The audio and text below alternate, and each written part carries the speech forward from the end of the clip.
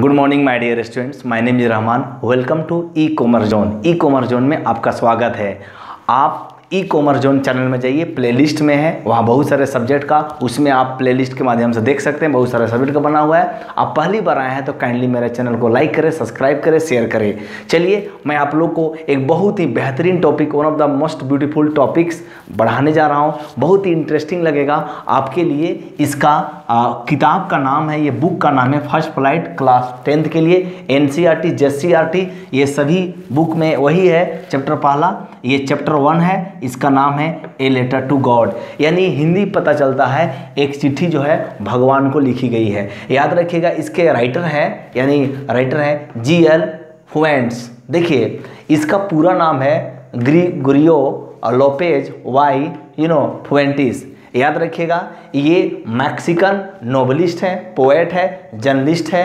He was born on seventeen November 1895 and died tenth December 1966 Mexico. Mexico जानते हैं, America तरफ़ का एक अमेरिकन कंट्रीज़ है। इस तरह से आप देखते हैं कि इसके जो कैरेक्टर्स हैं, इस चैप्टर में मैं थोड़ा सा कैरेक्टर बता देता हूँ, ठीक है? याद रखिएगा, मैं इस चैप्टर को लाइन बाय लाइन पढ़ाऊँगा थोड़ी देर में, ठीक है? लेंचो एक जो फार्मर है फार्मर को हम पीजेंट भी बोलते हैं, छोटे कृषक। एक पोस्ट मास्टर है, जो बहुत बड़ा रोल प्ले किया है, और क्लर्क्स भी हैं, और अदर स्टाफ्स भी हैं ओके अब देखिए इसमें क्या कहानी है। कहानी तो मैं बताऊँगा ही, लेकिन जो मैं तीन, दो, तीन चीज़ लिखा उसको मैं बता रहा हूँ। थीम क्या है? The poet highlights you know poet that is called ये आपका नोबलिस्ट है। यहाँ पर पोएट का मतलब यहाँ होगा N O V E L heist novelist you know the novelist इसको हटा देंगे तो यहाँ हो जाएगा N O V E L I S T novelist okay novelist highlights immense power in man's innocent faith in God it teaches us that if man has child like faith in God he can fulfil any thing considered impossible कहने का मतलब हुआ कि अगर आपको भगवान पर असीम, भगवान पर आपको बहुत ज़्यादा असीम विश्वास है तो कुछ भी संभव हो सकता है। इस दुनिया में याद रखिएगा, ठीक है? इसका मोरल क्या है बच्चे? देखेंगे यहाँ पर। मोरल जो कहानी का एक मोरल स्टोरी क्या है? The moral of the story a letter to God is that extreme faith in God almighty can give you a ray of hope even in the darkest darkest time कहने का मतलब हुआ, विषम से विषम परिस्थिति में भी अगर आपको यकीन है, उम्मीद है भगवान अल्लाह परमेश्वर से तो याद रखिएगा, वो डायरेक्टली या इनडायरेक्टली आपको हेल्प करते हैं। ओके तो इस तरह से आपने देखा, ये आपका ए लेटर टू गॉड है। इसमें कहानी क्या है? एक किसान का है, उसका फ़सल पूरा तरह से बर्बाद हो जाता है और डिसाइड करता है कि मैं एक लेटर लिखूँगा ताकि हमारा जो बच्चे हैं, परिवार है, वो भूखे ना मरे। उसके बाद लेटर लिखता है तो वो हंड्रेड पैसोज डिमांड करता है, लेकिन अनफॉर्चुनेटली उसको सेवेंटी मिलता है थर्टी नहीं मिलता है। तो वो जो पोस्ट मास्टर को ब्लेम लगाता है, कौन? लेंचो लगाता है कि हमारा थर्टी पैसोज वो लोग खा गए, ठीक है? लेकिन वो लोग कलेक्ट करके किसी तरह से देते हैं। अंत में आयरनिकली यही होता है कि वो उन लोग पर ब्लेम करते हैं कि वे लोग मतलब गलत थे, जबकि सच्चाई ये है कि पोस्ट मास्टर और जितने भी उनके ग्रुप स्टाफ हैं, वो लोग सभी मिलकर क्या करते हैं थर्टी सेवेंटी पैसों उपाय करते हैं और मैंने कलेक्ट करके देते हैं और इस तरह से उन लोग को ही झूठा यानी करप्ट बना देता है। आइए हम आपको अब लिए चलते हैं सीधे लाइन बाय लाइन स्टोरी में। ओके तो मैं बता रहा था कि जैसे ये आपका फ़र्स्ट फ़्लाइट बुक से लिया गया है, जो टेक्स्ट बुक इन का you know text book in English for class tenth ये आपका एन का है जे सी भी में चलता है, कोई दिक्कत नहीं है। तो इसी का मैं लाइन बाय लाइन पढ़ा रहा हूँ। देखिए, ये आपका ए लेटर टू गॉड लिया गया okay a letter to God यहाँ पर देख रहे हैं। यहाँ पर बताया गया है बिफोर यू रेड यहाँ पर क्या है? They say faith can move mountains but what should we put our faith in this is the question this story delicately poses you know Lencho is a farmer who writes a letter to God when his crops are ruined asking for a hundred pesos. Does Lencho's letter reach God? Uh, does God send him the money? Think what you uh, your answers to these questions would be, and guess how the story continues before you begin to read it. इसका मतलब ये हुआ, यहाँ पर मैं आपको बता देता हूँ कि ये जो स्टोरी में आपको बताया गया है, क्या इस तरह से कभी ऐसा हुआ है कि कोई आदमी जो है, कुछ प्रॉब्लम होता है तो वो लेटर जो है गॉड को लिखता है और वो कुछ फ़सल उसका बर्बाद हो जाता है या घर वगैरह कुछ ही बर्बाद हो जाता है तो इस तरह से वो लेटर गॉड को लिखता है, जिससे वो बोलता है कि आप मुझे, मेरे खेत बर्बाद किए, ज़मीन जगह बर्बाद किए तो आप मुझे पैसा दीजिए। इस तरह का थोड़ा सा ये मज़ाक में लगता है चाइल्ड लाइक बिहेवियर है। जनरली ऐसा रियल वर्ल्ड में नहीं होता है। ये वैसे लोग करते हैं जो इलिटरेट रहते हैं या अनपढ़ होते हैं ठीक है ना? तो इसमें आपको दिखाया गया तो क्या आप कभी ज़िंदगी में जो है कन्फर्म है? कोई आपके घर में पोस्ट ऑफ़िस द्वारा आता होगा आ, कोई डाकिया आपके पहुंचाते होंगे चिट्ठी लेटर वगैरह तो आप उसमें देख सकते हैं ठीक है? इसमें चलिए आपको मैं लाइन बाई लाइन पढ़ा रहा हूँ ये जो आपका फ़र्स्ट है आप इसमें देखेंगे यहाँ पर आपका फ़र्स्ट जो आपका देखेंगे ये स्टोरी है the house the only one in the entire valley set on the crest of a low hill इसका मतलब हुआ uh, किसी पहाड़ी के नीचे जो हिल के नीचे जो है एक घर है बिल्कुल नीचे नीचे नीचे मतलब जो होता है ना, हिल का निचला वाला जो पार्ट है, उसमें घर बना हुआ है। From this height one could see the river and the field of ripe corn dotted with the flower that always promised you know a good harvest ठीक है? अब वहाँ से नदी है और कुछ पके वगैरह, धान के खेत वगैरह है, जिसमें देख सकते हैं, और चारों तरफ़ जो है फूल फुलवारी लगा हुआ है, और एक आदमी जो है उम्मीद कर रहा है कि इस साल बहुत अच्छा से क्या होगा, खेती होगा। The only thing the earth needed was a downpour or at least a shower. Downpour का मतलब होता है यहाँ हल्की हल्की बारिश होगी और कम से कम फुहारा जैसा बारिश होगी। Throughout the morning, Lencho, who knew his fields intimately had done nothing else but see the sky towards the north east, okay? तो वो देख रहे थे नॉर्थ ईस्ट के तरफ़ से कि कम से कम इस साल जो है अच्छी बारिश होगी और मेरा जो है फ़सल बहुत अच्छा होगा। Now we were really going to get some water woman ठीक है? वो अपने मैडम से बात ही कर रहे थे मतलब लेंचो जो है किसान है, पीजेंट है, वो मैडम से बात कर रहे थे कि हम लोग इस साल थोड़ा सा अगर बारिश हो जाती है तो अच्छा होगा। The woman who was preparing supper. Supper का मतलब यहाँ पर भोजन होगा। सफ़र का मतलब क्या होगा? भोजन। जो खाना बना रही थी, रात का भोजन को हम सफ़र बोलते हैं। Replied, yes, God willing. हाँ ज़रूर, अगर भगवान चाह तो ज़रूर होगा। द ओल्डर ओल्डर बॉयज़, जो उसका बड़ा लड़का था, were, working in the field जो अब ये देखिए, अब ये दिन का चूँकि समय है, रात का समय वो नहीं था, वो दिन का समय है, वो खाना बना रहे थे और उसके बच्चे जो है काम कर रहे थे खेत में। While the smaller ones were playing near the house उसमें दो बेटे थे तो एक काम कर रहा था और कुछ बच्चे खेल रहे थे घर के सामने, ठीक है? Until the woman called eat to them उन लोगों को बुलाया कम फॉर डिनर यहाँ पर आओ डिनर के लिए। It was during the meal that just as okay और वो जो है क्या चीज़ का टाइम था वो? खाना पीने का टाइम था ओके अब देखिए नेक्स्ट में क्या है? नेक्स्ट पैराग्राफ आपको बोलते हैं यहाँ पर देखिए Lencho had predicted big drops of rain began to fall मतलब उनको ऐसा प्रिडिक्ट का मतलब होता है कि कोई चीज़ के भविष्यवाणी करना ओके प्रिडिक्शन करना, कोई चीज़ का भविष्यवाणी करना। लेंचो को भविष्यवाणी कर दिया कि बड़े बड़े ड्रॉप्स जो है होना मतलब बारिश होना शुरू हो गए।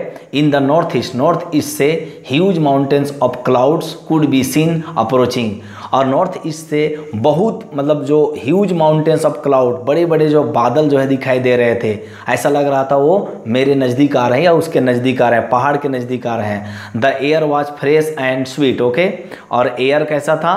फ्रेश था और स्वीट था। द मैन यहाँ पर देखेंगे the man went out for no other reason than to have the pleasure of feeling the rain on his body ठीक है? इस तरह से देख सकते हैं कि उसके बॉडी में मतलब उसको अच्छा लग रहा था and when he return he exclaim वो जब लौटा तो बहुत अच्छा से वो एक्सप्लेन एक्सक्लेम किया, खुशी के साथ मतलब जॉय किया they aren't rain drops falling from the sky और वे दीज अरंट यू नो मतलब ये जो है रेन ड्रॉप्स नहीं है जो स्काई से गिर रहे हैं दे आर न्यू क्वेंस ये क्या है? नई नई क्वेंस है, सिक्के हैं. The big drops are ten cent pieces and the little ones are five जो बड़े ड्रॉप हैं, वो लग रहे हैं दस मने के सिक्के हैं और जो छोटे हैं, वो पाँच के सिक्के जैसा लग रहे हैं, ठीक है?